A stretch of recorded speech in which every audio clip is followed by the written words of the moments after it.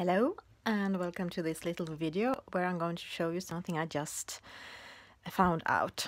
Uh, and that is how to do these kind of stars blue shiny stars.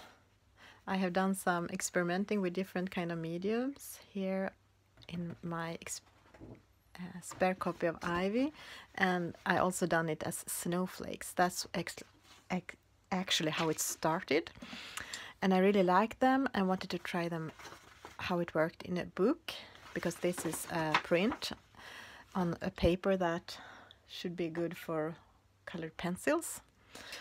Uh, so oh yeah it worked in the books too. Uh, and what I did was I have done a layer.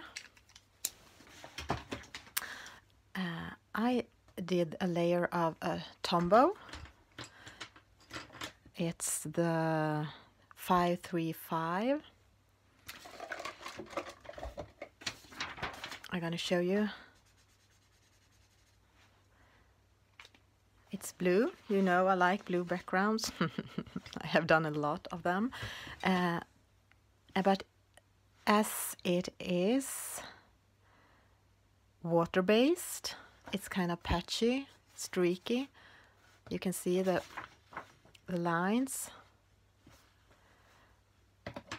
I could have used alcohol marker if I had a protection sheet behind. I mean, it's nothing to ruin. It's not a book. It's nothing there. But I don't have any alcohol marker in this color. Actually, I realize I need to buy that because I do like this dark blue backgrounds in all mediums. Uh, but I did it with this. And then I this uh, picture have all these snowflakes and I have been working a lot with these ones. They're not finished yet. I'm practicing to do try to do sparkle without doing sparkle uh, the way May Brox does and the way she talks about in the latest episode of Passionista Colorista podcast. Uh, I can't say I have done it very good. I think the the ones without the dots is looking better, but anyhow, it's fun. But what I was going to show you, sorry for all the talk, is that what I did uh, after the first layer was that I thought it was too light. I'm gonna pick one big one, big snowflake, this one. Uh, so I'm doing another layer of pencils on top. This is the indi indigo blue Prismacolor. Prismacolor is good because it's kind of opaque and creamy. So one layer on top of this will be perfect. And yes, first I thought I it was a waste of color to do the first layer with a pen. But then I tried to use it on this book, just pencils, and it didn't turn out the same way and I need like three different shades. I think this was Copenhagen blue and China blue and indigo blue.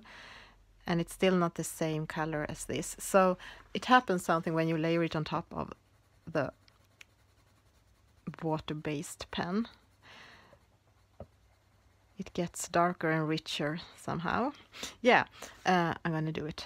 I'm gonna do it for the whole background, but not on vid this video. So yeah. When I have done that, I took the cerulean blue, also Prismacolor, and I colored on top of the line. Mostly on the on one side. Uh, quite a thick layer to try to uh, make the line kind of invisible, melting into the background. And then I took the sky blue light and went over that darker color and blended it into the snowflake but leaving some white. Yeah that's what how I did the stars in the book too. The same method. Here I used it exactly the same way with a Tombow as a base layer and then dark indigo on top and cerulean blue and light sky blue light.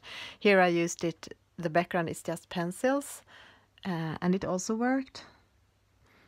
but I thought the it was a cooler effect with the cerulean blue on top of the lines on here because it kind of yeah it's more visible here here it's more in blended just into the, all the other colors and not that visible uh, here I used it on top of uh, what was the name of that? Uh, it's a Posca. It's a dark blue one. Navy blue Posca. Sorry. Navy blue Posca. Uh, and I thought the color difference was a bit too big here but it's it works obviously. And here it was on top of uh, the lighter the or original just blue Posca. Uh, I didn't really like that combo I think it's too too blue I would darken it up with yeah, you can put indigo on top of this too, but I think, yeah, you can color on top of Posca. Although I thought I prefer to do it on top of this Tombow. Uh, and here I used uh, alcohol markers, which bleed through. Not that much that I thought, but still. Uh, I did, didn't have any dark blue, so I took a light blue and then took pencils on top. Uh, and this just became a mess. but of course, you can do it on top of of uh, alcohol markers uh, if you have a darker one. Uh, but yeah, so this is how I'm going to do the snowflakes on this picture. I'm gonna. Oh, sorry. I'm gonna do the dark the dark indigo. I think that is the name of the uh, polychromos. This is just in blue indigo, indigo blue.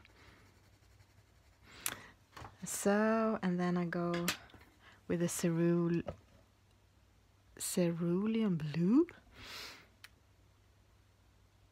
around the line on this side and a bit into the snowflake and then the blend it with snow snowflake with the sky blue light but leave some white for a shiny effect. I guess you could use this with a moon as well if you want a cold whitish moon. Uh, yeah. Hope you liked this video. If you did, please give me a thumbs up and uh, subscribe if you want to. I'm going to try to do more videos as this one when I come up with some new stuff I like. Uh, see you later. Bye.